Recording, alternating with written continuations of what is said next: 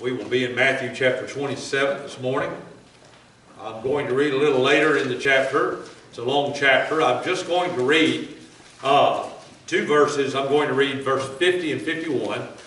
So Matthew chapter 27, and when you find your place, if you're able to, and if, and if you're willing to, uh, we would, I would ask you to rise simply for the reading of the Word of God, uh, just for respect to the Word.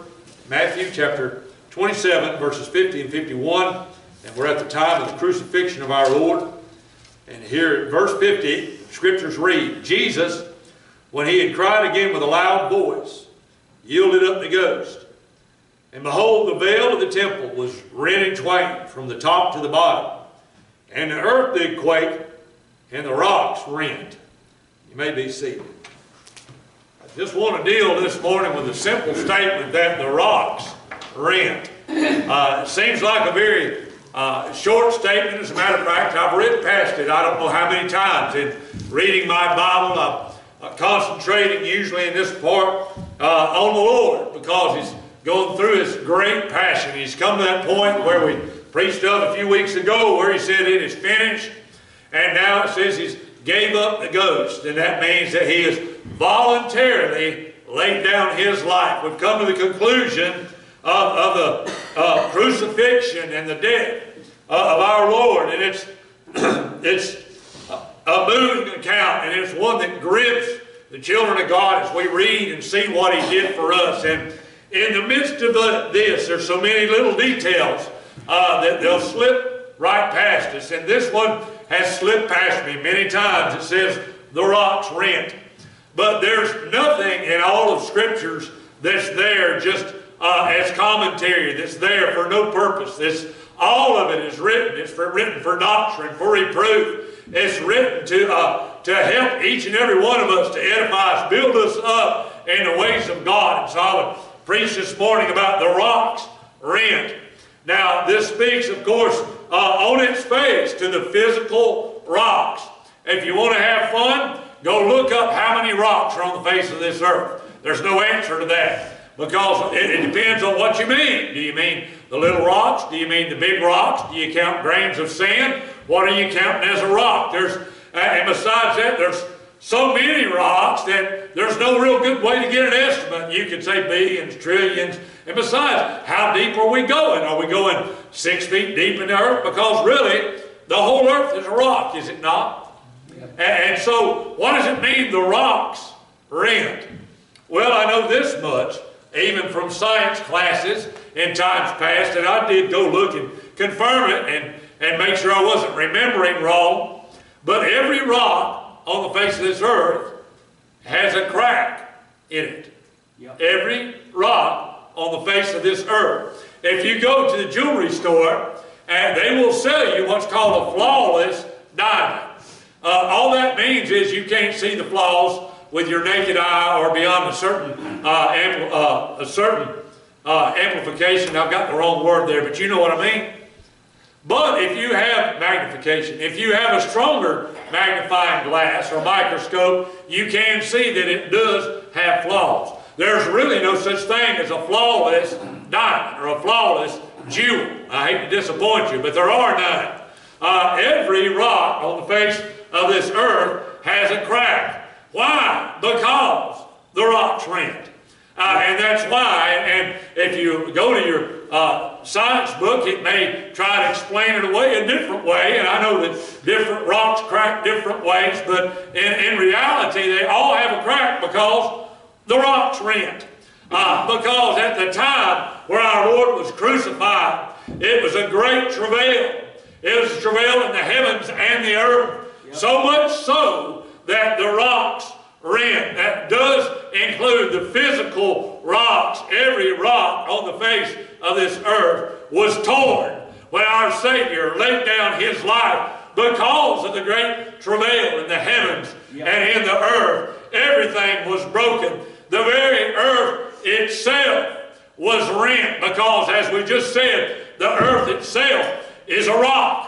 And the very earth itself was torn and rent. And we see it even in the next uh, verse. It says the graves were opened, and many bodies of the saints which slept arose He came out of the graves after his resurrection. That's three days later. But why were they able to come out? Because the rocks rent. Why would the whole earth be torn? Why would the whole earth be, be broken over the crucifixion of our Lord? But because this whole earth was cursed when man fell into sin, and now this whole earth was in travail and remains in travail until the completion of our salvation on the day in which our Lord returns. But great was the travail over the whole earth. Every rock was rent, and the earth itself was torn. We read of the earthquakes which took place on this day. Oh, it was a great day indeed and the rocks rent. But now let me speak of another rock, because this goes beyond the rocks on the face of this earth. It goes into the rock of all rocks. It goes into the rock on which we are built. For we're not built on a physical rock of, of Mount Zion, a, a mountain uh, on the hills of Judea, but we're built on the rock which is our Lord. We're built on the rock which is Jesus Christ and his body was rent, was torn. It speaks of the veil of his flesh in Hebrews, in the book of Hebrews. And here uh, we just read in verse 51 And behold, the veil of the temple was rent in twain from the top to the bottom. And that speaks of the tearing of the body of Jesus Christ, opening up the way into the Holy of Holies, where before we were blocked and could not go into that, into that holy place. And neither could the nation of Israel. And, and neither could the Gentiles. But when his body was torn, the veil was torn, his body was torn that day. That great rock who is our Savior was torn that day when the rocks rent. Think of the power that it would take to tear apart our Savior. For he did this voluntarily, laid down his life. It was more than you and I had given our life, for he was not only 100% man, but 100% God. And it said that he poured out his soul, a sacrifice. That's right. His soul. Oh yes, the rock, the rock of all rocks was rent that day, torn for you and I, so that no man could recognize him. It says his visage that means his appearance was marred more than any man. And I know I preach this often about, about his sacrificial death, but I can't get away from it. It's the center point of the whole Bible. All of the scriptures are built around this one event, this one day, when the rock was rent. When he was torn, that body that he was given, that was prepared for him, that began that day with the work of the Spirit through, through a, a young virgin by the name of Mary, when the Spirit overshadowed her, and she conceived inside her from the Spirit this body and this person, Jesus Christ. Born for this purpose, that this day his whole body would be torn and his soul torn. That rock, not just the body the rock was in, that rock was rent on that day, torn for you and I. But you know, as Christ himself was torn, there are some things that happen from this that we still wonder at and are still amazed at, pardon me. For all throughout the scriptures up to this point, there were little pictures and little types of Christ. And, and we see in the rest of the Old Testament how especially Paul, but even, even others, would look back into the scriptures and see pictures of Christ. And why didn't they see them before? They never did. Why was it that all the prophets prophesied knowing even not, knowing not even what they had looked into? Because all of these little rocks, if you will, these little pictures of Christ were whole until the day the rocks were rent. And on that day, all of those little pictures and types of Christ were opened up and began to open up. And the things that could never be understood of Christ could now be understood. And so for the rest of the New Testament, we constantly see pictures and types of Christ brought out, which were never brought out before. Why? Because on that day, the rocks rent. And the little rocks, the little pictures of our great rock were torn open so it might be revealed to us who he is. And so we read in Hebrews about the rock that followed the children of Israel throughout the wilderness. And says, that rock is Christ. Why didn't they know it earlier? Why couldn't they understand?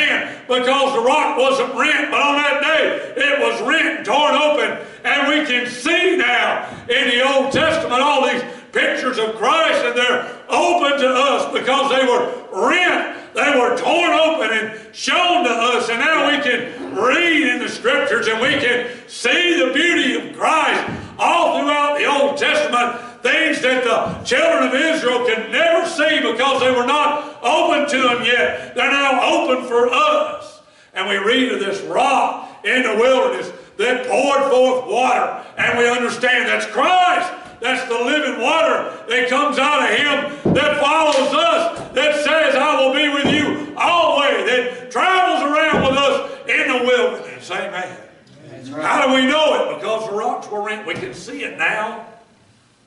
We can see the children of Israel coming across the Red Sea and escaping from the children of Egypt and saying, that was me the day I was born again, when I was removed from the land of Egypt. That's the world that I was living in, and I was redeemed and brought out, and it's dead to me now. How do we know that? Because the rocks were rent. Yep. Amen. Because all the things of the Old Testament were opened up to us. And in the book of Psalms now, when we read in Psalms 22 and we see, My God, my God, why hast thou forsaken me? Now we say, that's Christ. David was prophesying of Christ, but they didn't know it then because the rocks were closed up. But now on this day, when our great rock was rent, these rocks were rent. And we can see all through the Old Testament that the Psalms prophesied of Christ. Yes. Man, we read in Proverbs and we see this morning as we were going through Proverbs in men's Sunday school class, pardon me, we came upon a scripture. Uh, I, I want to bring this out to you. I wasn't going here, but I will. Came upon a scripture in the book of Proverbs in chapter 19 that said in verse 13, a foolish son is the calamity of his father, and the contentions of a wife are a continual dropping.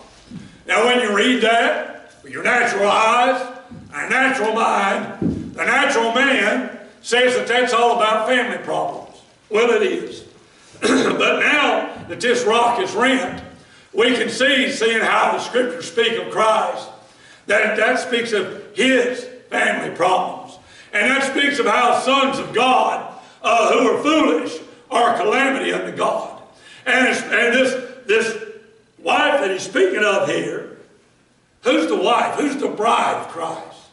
The church. It's not speaking of one woman, it's speaking of the church. And how that a contentious church, how that a grumbling, complaining church is, is an irritant to our Father. And an irritant to Christ. How do we know that? Because the rock was rent open. Yeah. And we read in here beyond the natural and the spiritual is open because the rocks were rent. Yep. You see, those children of Israel, all of those years, they had the Word of God in front of them, but they read it and didn't read it. They read it and saw only the law. They read it, and all they got out of it was do and don't and do and don't. Because the rocks were still closed. But when they were read open that day, now we understand. It's not just a history book. It's not just a, a chronology of battles. It's not just a genealogy. It's not just a, a history of the law. But it's all about Christ. All about Christ. And everything is about the salvation of Christ. And about, about His great passion. It's all about Christ. And we know it because the rocks were rent. Amen. I want to move on. I'll be short this morning, but I want to go to one last thing. Because I said Christ himself was rent, was torn. And he was. But it goes beyond his body being beaten. It goes beyond the spear tip which went into his side and opened up a pathway into his heart and poured out blood and water. As important as that is, I'm telling you that the way into Jesus Christ was torn open. In the book of Exodus, if you will. in the book of Exodus, in chapter 33. Uh, if you want to turn there, I'll give you a moment to do so. The book of Exodus, chapter 33. Moses here was speaking to God. And actually, I should say that the Lord spoke to Moses. For I see in verse 11, the Lord spake unto Moses face to face, as a man speaketh unto his friend. Now listen, that doesn't happen to everybody. Everybody's not a friend of God. But the children of God are friends of God. Amen. And it says in verse 14, uh, he says, And he said, My presence shall go with thee, and I will give thee rest. Doesn't that sound familiar? Sounds like the Lord Jesus Christ talking to us. Come to me, all ye that labor or heavy labor, and I will give thee rest. Amen. Verse 17, And the Lord said unto Moses, I'll do the same also that thou hast spoken, for thou hast found grace in my sight, and I know thee by name. Boy, it sounds like him talking to me, because he knows me by name. Amen. But let's look at this thing that Moses wished for so much. And he said, I beseech thee, show me thy glory. I'm going to tell you, every child of God wants to see the glory of God. It's a burning desire. It's something I yearn for, to see the glory of God. When I walk into a church service, when I walk into a revival, when I walk into a camp meeting, when I walk by myself to a place where I can pray to God, I want to see, yearn to see the glory of God. Don't you want to see Amen. the glory of God? Amen. Amen. It's why we want so much to see a sinner come and be saved. It's why we desire to praise the Lord. We want to see the glory of God. And he said, that's the Lord speaking, I will make all my goodness pass before thee. And I'll proclaim the name of the Lord before thee, and will be gracious to whom I will be gracious, will show mercy on whom I'll show mercy. And he said, Thou canst not see my face, for there shall no man see me and live. You know, the Jews couldn't understand this. How God just told them he couldn't see him and live, and yet he showed him to them. Can I tell you that the face of God toward man is Jesus Christ? And even in the New Testament, we're told that no man's seen God the Father, but we're told that we've seen him through Jesus Christ. Amen. Amen. And you see, even that vision of, vision of God was opened up to us when we saw Jesus opened up to us as very God on the cross. Amen. And the Lord said, Behold, there is a place by me, and thou shalt stand upon a rock. I wish I had the voice to shout. I'm telling you, there's a place by me, and thou shalt stand upon a rock. And we know that rock's Christ. Yes. And Moses stood on a rock. But oh, it goes deeper than that. And it shall come to pass that when my glory passeth by, that I will put thee in the cleft of the rock. For Moses didn't just stand on a rock, hear me. But when his glory came by, Moses got in the cleft of a rock. Yes. And when the glory of God was accomplished on that cross, when Jesus gave up the ghost, and when the rocks were rent, there was now a cleft in the rock. And we don't just stand on the rock, but we stand in the rock. Amen. Well, we don't get to uh, to the to the God our Father in our prayers by being on Jesus Christ,